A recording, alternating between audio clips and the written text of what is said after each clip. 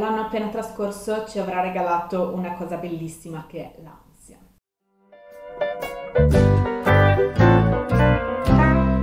Motivo per il quale oggi vi darò 5 modi utilissimi per scaricare l'ansia in ambito di danza. Quante volte vi siete ritrovati dietro le quinte con l'ansia a fior di pelle per l'esibizione imminente? Oppure eh, prima di un esame di danza, prima di boh, qualunque cosa vi metta ansia, vi siete ritrovati in ansia e non sapevate come scaricarla. Prima di tutto vi dico i modi che non sono assolutamente utili per scaricare l'ansia e poi vi darò appunto questi 5 modi che ho selezionato, che utilizzo anch'io, per scaricare l'ansia in un momento di ansia giustizia. Questi metodi possono servire sia per la danza, in particolare per la danza, ma anche in situazioni diverse dalla danza, può essere anche una situazione scolastica per dire. Però andiamo con ordine. Prima di tutto vi avviso subito che eh, un modo assolutamente out per scaricare l'ansia è attaccarsi alle persone perché così farete in modo di caricare la persona a cui vi attaccate di ansia e eh, sicuramente la persona in questione non vi ringrazierà. La seconda cosa è molto simile alla prima, parlare a raffica con le persone e anche questo trasmetterebbe molta molta ansia. La terza cosa è di rimanere duri e isolati senza fare assolutamente nulla. Questi tre modi sono assolutamente deleteri, anzi alla lunga poi vi faranno ritornare l'ansia esattamente dove era prima quindi io vi suggerisco di seguire invece i 5 metodi che seguono. Il primo che utilizzo molto spesso è questo, sdraiarsi per terra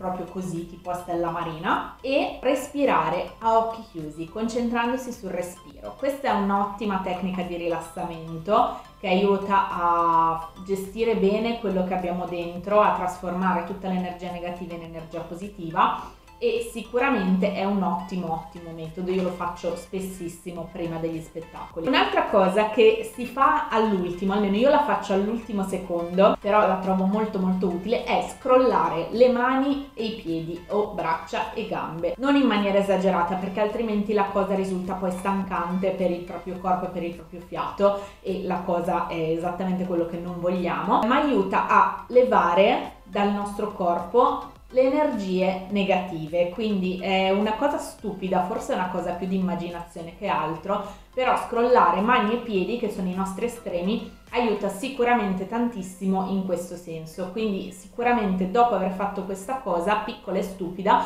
voi vi ritroverete con meno ansia rispetto a quella iniziale. La terza cosa io l'ho utilizzata non solo per eh, gli spettacoli, ma anche in situazioni di ansia quotidiana. Quindi eh, mi, mi, è capitato di farlo per esempio quando ho fatto il primo tatuaggio, che avevo paurissima del dolore. Un altro momento in cui l'ho fatto è stato l'ultimo vaccino che ho fatto, infatti adesso penso che lo rifarò perché appunto avendo paura delle siringhe io non riesco neanche a pensarci ecco una cosa molto utile in soldoni in queste situazioni è l'auto-ipnosi. Si fa così, è molto semplice, non serve essere degli scienziati per farla. Vi ritrovate nella situazione di paura, fermate tutto, fissate un punto e continuate a fissare quel punto. Voi lo continuate a fissare, vi concentrate su quello, liberate la mente da qualunque altra cosa e continuate a fissare quel punto. Produrrete appunto, come dicevo prima, un'autoipnosi che vi aiuterà a distrarvi da quello che vi mette ansia o paura. Quarto metodo, sconsigliato a chi ha normalmente dei problemi di fiato, però molto utile, è buttare fuori tutta l'aria. Quindi prendo un respiro profondo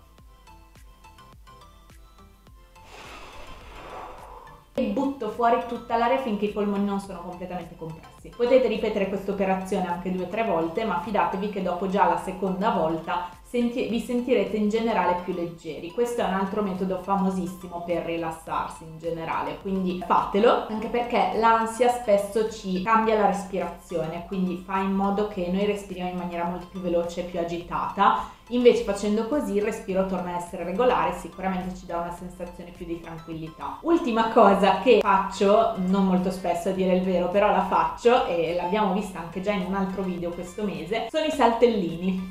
Quando l'ansia è veramente palpabile, saltellate, cominciate a saltellare piccoli saltellini stupidi, non all'infinito perché sennò poi morite, però eh, continuate a saltellare liberamente nello spazio fino a che non vi sentite appunto più leggeri, più allegri e liberi dell'ansia. Insomma, sono 5 metodi che eh, riguardano tutti il rilassamento, il buttare fuori le energie negative, il canalizzare appunto le energie positive dove serve. Servono, quindi spero che vi siano stati utili. Fatemi sapere qua sotto nei commenti se voi li utilizzate o se ne utilizzate altri che possono sicuramente giovare come consigli per tutti noi di questa piccola comunità. Se vi è piaciuto questo video lasciatemi un pollice in su, se pensate che questo video possa interessare i vostri amici, parenti, compagni di danza, insegnanti di danza e via dicendo, condividetelo su tutti i vostri social. Se vi piace questo format, questo canale, ciò che faccio su questa piattaforma, iscrivetevi e cliccate sulla campanella. Noi ci vediamo con il prossimo video il 21 gennaio con il primo episodio del 2021 di What Joe Eats in a Day, ovvero la mia challenge alimentare. Invece il prossimo Danza con Joe sarà il 26 gennaio, eccezionalmente di martedì perché il 25 ci sarà la box review. Un bacione